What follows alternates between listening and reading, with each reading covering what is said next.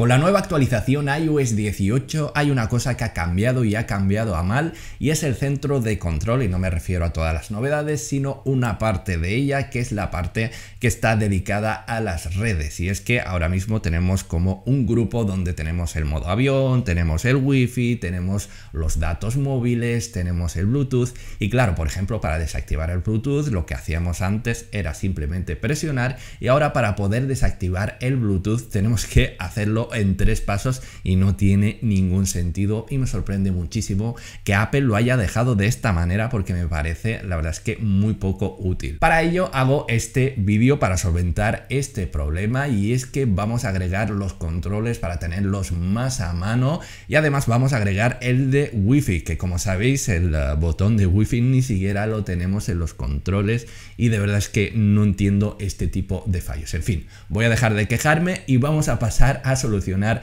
este problema.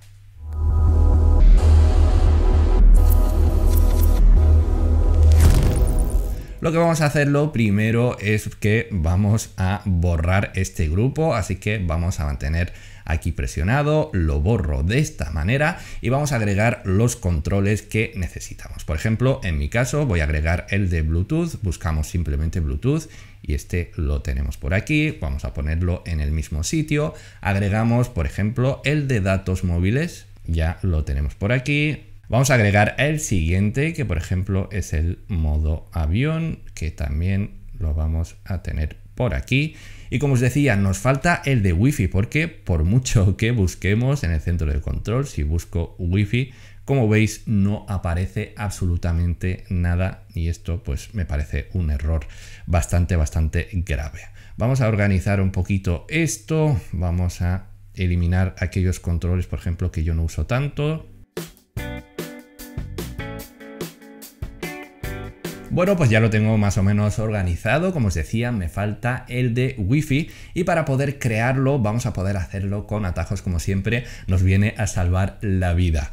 Podéis hacerlo, que lo voy a crear ahora mismo, o podéis descargarlo porque os voy a dejar el link en la descripción del vídeo por si no queréis hacer todo este proceso y así agregarlo más rápidamente. Así que vamos a irnos a la aplicación de atajos. Como veis yo ya tengo creado uno que se llama botón wifi.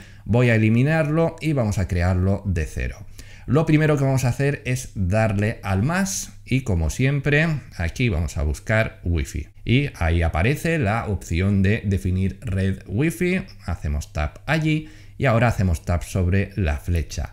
En operación le damos a ajustar y vamos a seleccionar activar, desactivar para que cuando lo presionemos esté activado pues desactivarlo y si está desactivado activarlo. Y es tan sencillo como esto. Ahora le damos un nombre yo, por ejemplo, le voy a poner Wi-Fi, aceptar y ahora vamos a cambiar el icono. Simplemente hacemos lo mismo, le damos a seleccionar icono y aquí en buscar símbolos vamos a buscar el símbolo de Wi-Fi. Buscamos Wi-Fi que no sé por qué si pones Wi-Fi no aparece, pero si pones Wi sí que aparece, que lo tengáis en cuenta. Vale, lo tenemos seleccionado, le damos a OK y ya tenemos creado el atajo. Eh, como veis es súper fácil, pero si no lo queréis crear de cero, como te decía, lo tendrás en la descripción. Volvemos al centro de control, vamos a hacer un tap largo, volvemos a añadir un control y esta vez tenemos que buscar atajo, ¿vale? Ponemos aquí atajo, seleccionamos este donde pone atajo y ahora tenemos que seleccionar el atajo que acabamos de crear o si lo habéis descargado. Así que ponemos, lo buscamos por el nombre que le hemos puesto. En mi caso le he puesto wifi y ya lo tengo por aquí. Y ahora lo hacemos pequeño por si os salía grande. Y como veis ya lo tenemos agregado. Ahora podemos por fin, que no debería ni de existir este vídeo, pero bueno, por fin podremos desactivar, como veis, ya está en este caso desactivado, ya no estoy conectado, como estáis viendo, estoy conectado al 5G eh, y si lo vuelvo a presionar ahora se conecta a mi red Wi-Fi. Si queremos el modo avión, pues lo mismo, desde aquí lo podemos hacer, desactivar el Bluetooth, que esto es súper útil, y también desactivar los datos móviles lo podemos hacer desde aquí. Veremos si en una futura actualización corrigen esto, porque me parece un fallo grave.